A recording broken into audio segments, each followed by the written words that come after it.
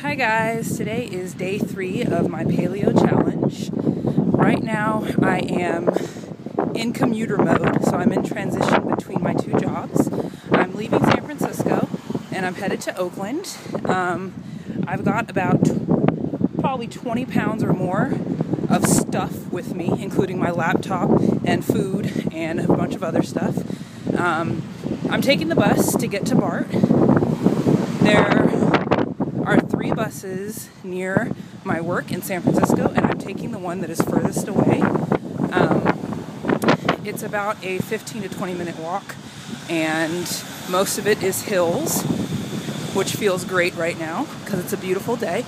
Um, I try to stay as active as possible, and because I've been sitting at a computer for the last maybe three or four hours, um, I decided to take the long route and I love it. Every step counts, guys, so don't forget that. Thanks for watching.